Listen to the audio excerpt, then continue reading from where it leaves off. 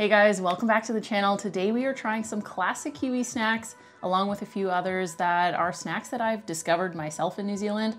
So sorry if they're not actually from here, but we're gonna dig in and try so many different things. I'm super excited. We have a special guest right here, Donovan Kelly. Donovan and I have been in New Zealand for over a year now. We've also tried a lot of classic Kiwi beers and some not so classic Kiwi beers. So head over to his channel to check out those videos, which I will link down below for you.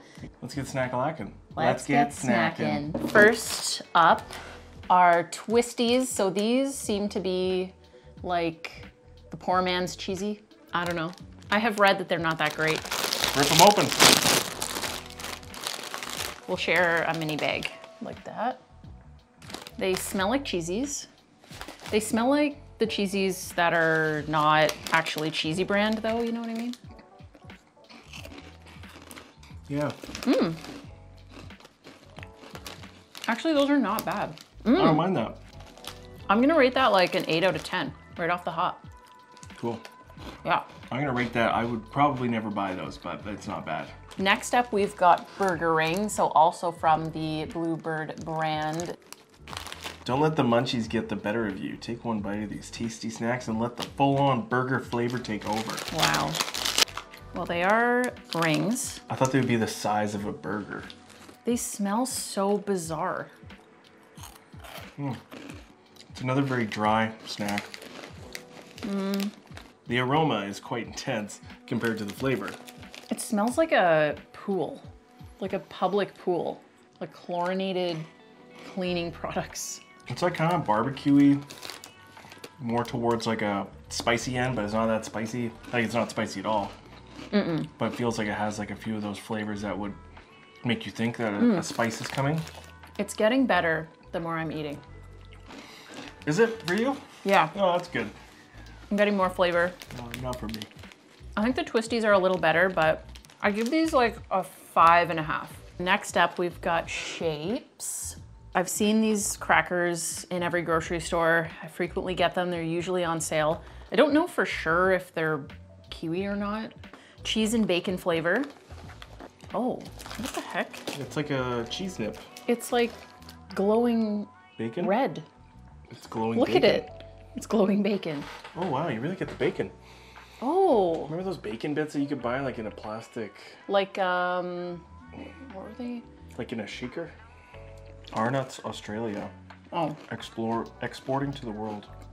okay. Made Sorry. in Australia. Sorry, y'all. They smell so bacony. They smell like dog treats, like dog treat bacon. I'll take these over those other two any day. Well, I'm not crazy on the flavor actually. I think twisties are better. Six out of 10. Some of the flavors of shapes are really, really good. This one's not my favorite, but I've had the pizza one before, I think, which they have on the back. And we've definitely had the barbecue one before, which was pretty good. So we've got L&P, which is lemon and Paeroa, good lemony stuff. We have had this many times before. I think we both really enjoy it, but it's been a while. We haven't had it in a while. Wow. This is warm. It was just in the cabinet, so we've got a glass of ice here. Cooler down right away. Oof. Wow, it's so carbonated. So in Canada, a lot of times we'll just say pop. And Oh, in that's America, right. it's it's very like soda. Um, and down here, it's fizz. Fizz. It is fizzy. So, do you want to go first? I'd love to go first. It looks and smells amazing. It's like, it smells like Sprite or 7 Up. Mm-hmm. Oh, that's just, that's nice. We're not big soda pop fizz drinkers, but if we are out and about, it is, uh, it's kind of nice to grab every once in a while. We normally go for the beers. Yeah, this is like almost ginger ale slash ginger beer slash Sprite to me. Like it has a good mix of spices, but also super refreshing and lemony, citrusy. Yeah. I don't know what Paeroa is, but it's good. I would give this a solid nine out of 10. It could be a little less sweet for me. That's really the only thing, but it is pop. So highly recommend it if you're out on a hot day and like you only have things like Coca-Cola or Sprite or something to choose from, L&P is a really good choice. Now we've got a Feijoa kombucha from Lo Bros. Lobros is from Australia. I am well aware of that. However, the reason I picked this up for this video is because it's feijoa flavored. I don't know if this is super popular in Australia, but we have seen this flavor, this fruit all over the place here. So I thought we would give it a mention. The Lo Bros kombuchas are decent. I prefer to do like the local, the local kombucha breweries if I can. Right out of the bottle. Ooh, it's just very vinegary. I love kombucha. It's not for everybody, that's for sure. It has a very distinct flavor. We have actually tried feijoa like from someone's backyard that had a tree. Crisp melon type of flavor, almost like a white freezy. If you know what a white freezy is from North America, it kind of has that almost vanilla flavor to me. There's so much going on in it. I can't even Mm-hmm. put my thumb on one thing. I totally get that. It's like the Gatorade, like the white Gatorade. uh, Yeah, That you can yeah. buy. Melon, Melon. like kind of tangy, Yeah, punchy, Mm-hmm. subtle like bitter undertone. It's not my favorite flavor. I don't gravitate towards feijoa, but it's okay. Like I would give that, I give that like a four or five out of 10. It's not my favorite. Just because it's in kombucha, I think it's maybe the vinegar flavor of kombucha is taking over the feijoa a lot. Hmm. I ended up getting two of these because they were on sale like two for seven. These came up on so many lists for classic Kiwi snacks. New Zealand. New Zealand made. So we're gonna try the Hokey Pokey ones hmm. and those ones. Hokey Pokey and Strawberry Jube. Cool. I have heard that these are extremely sweet, but we're gonna do it anyway. And Hokey Pokey is one of the most iconic flavors in New Zealand, so I had to include something with Hokey Pokey. This is one of a couple of things that are Hokey Pokey, but let's dig into these. They look adorable. They look so cute. You're right. They they do look like they're gonna be very sweet. They smell so strong just out of the oh, box. Oh, Squiggles, cheers. Wow, that, yep, that's sweet. Very artificial fruit flavor in this one. It does though, it tastes like a um, jelly tip. Oh, does it? I forgot about jelly tip. Why didn't you get a jelly tip? People don't know what that is. I know. If you don't know what jelly tip is, I'll put a photo of it right here. We have tried them in the past. We weren't crazy about them, but it's a very popular flavor. Like you see it in a lot of different treats like cookies and ice creams and everything.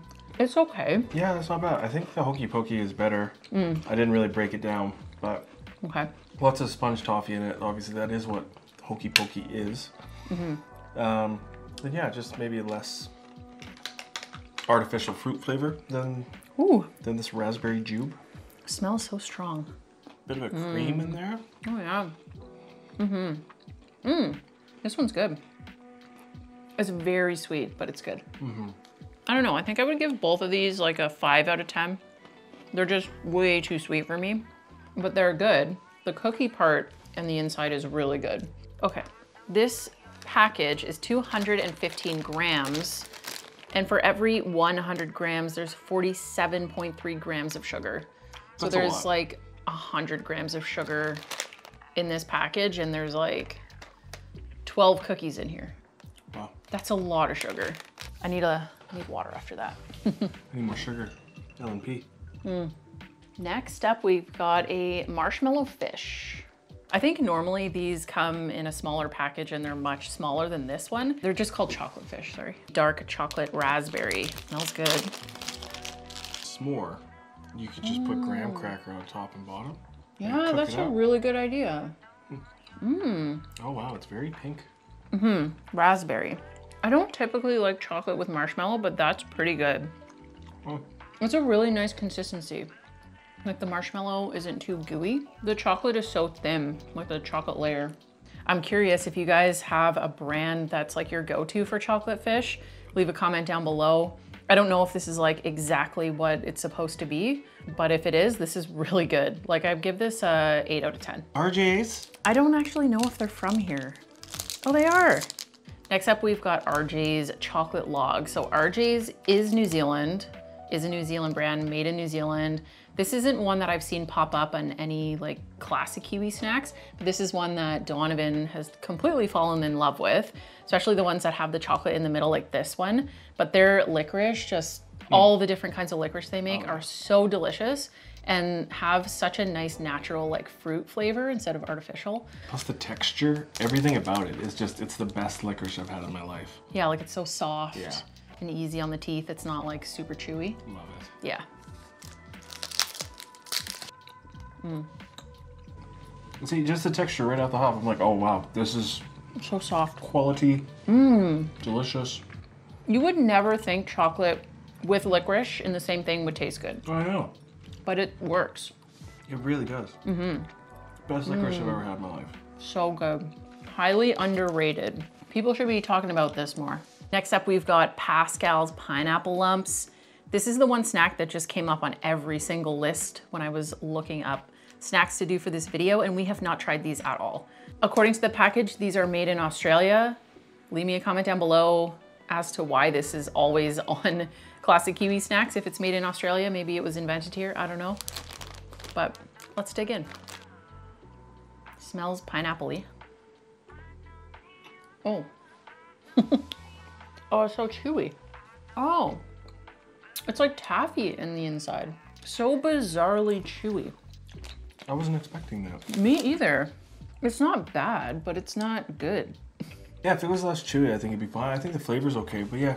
Mm-hmm. But I know a lot of people who like that, so Mhm. Yeah. I thought it was gonna be more fruity and more. Mm-hmm. Yeah. I thought it'd be like biting into a piece of pineapple with a bit of chocolate on it. Yeah, I'll give that like a four out of 10. I would not buy those again. The flavor's not bad though. Like the chocolate on the outside is pretty decent. Next on the list is Jaffa's orange candy coating, dark chocolate center, flavored confectionery. RJ's, which we know is an amazing brand. I mean, they make that licorice, that's 10 out of 10. But Jaffa's, we haven't tried yet. Jaffa's chocolate, a kiwi icon on the back. Orange and chocolate is popular here, which I'm a big fan of.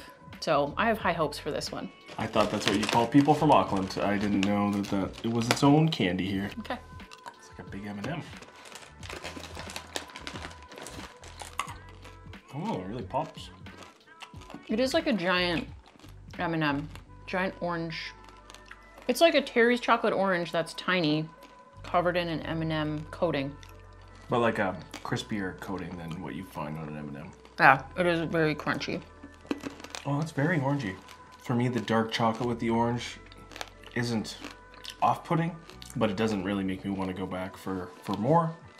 Which maybe that's a good thing. Maybe that's a good snack. I can have one, get my fix, mm-hmm. and put Push it them away. aside. yeah, because I think I'm good after one. I really like the chocolate with the orange. That flavor is incredible. However, the exterior is a little too crunchy for even me, and I like crunchy. I give that like a seven. I think that's a contender. It's not amazing, but it's not mediocre. Like it's a little better than that. I just love a good chocolate and orange flavor together. Jet planes are another classic Kiwi snack, and again, from Pascal's. So from Australia, I guess. I, I don't exactly know the history or why it's a classic Kiwi snack, same as the pineapple lumps if it's made by an Australian company.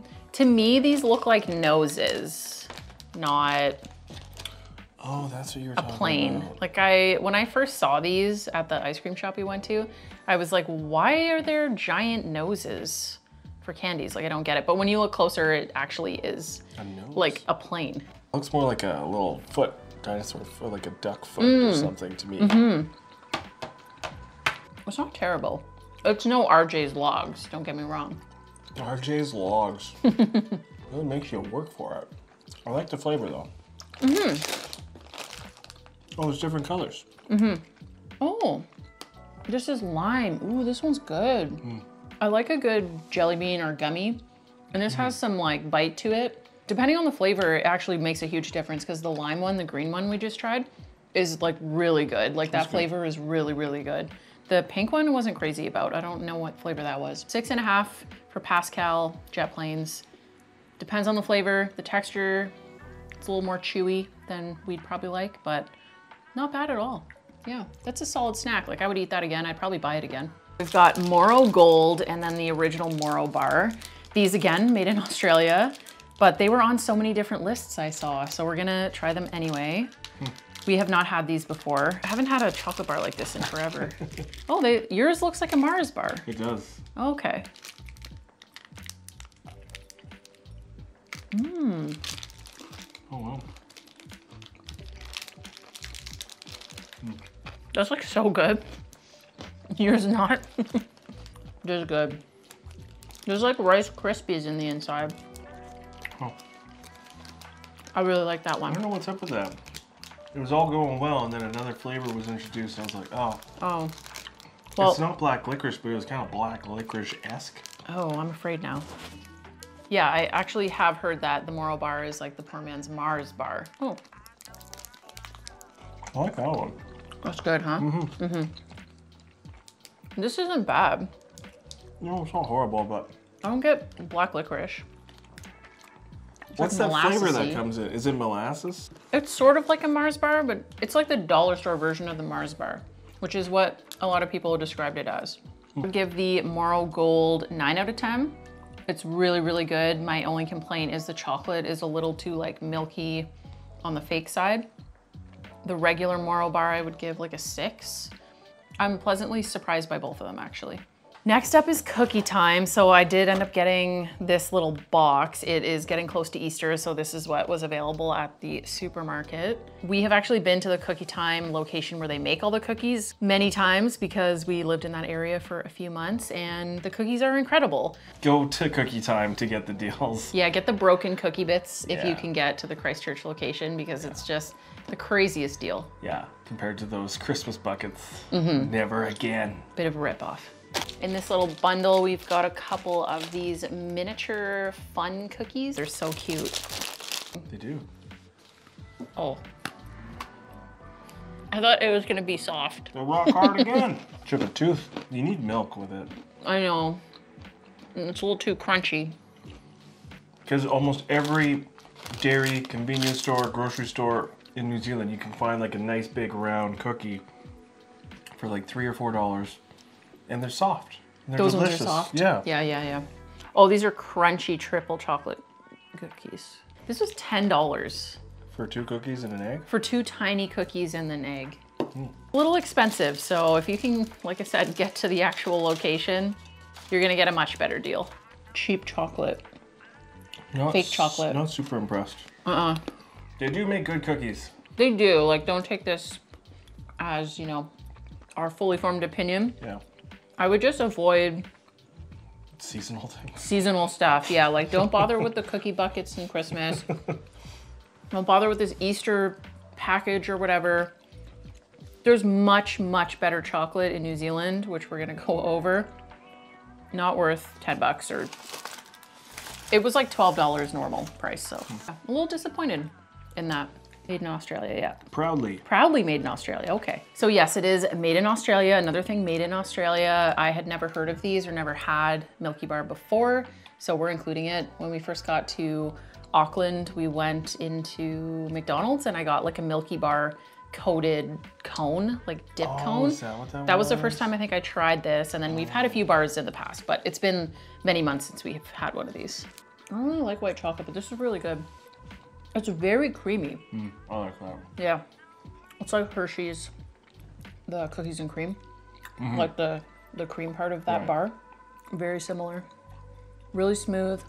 Even though I don't like white chocolate, like I would give that a eight and a half out of 10. That's really, really good. Next up, Whittaker's chocolate, specifically Hokey Pokey Crunch. Like I mentioned earlier, Hokey Pokey is really popular here. Hokey Pokey is the same thing as sponge toffee. It's in ice cream, it's in chocolate, it's in cookies, it's everywhere. It's good.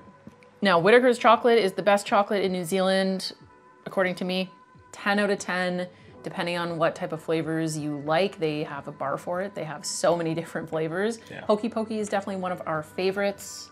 And we've had it many times, many, many, many times. Like this is probably our 20th bar in the last year.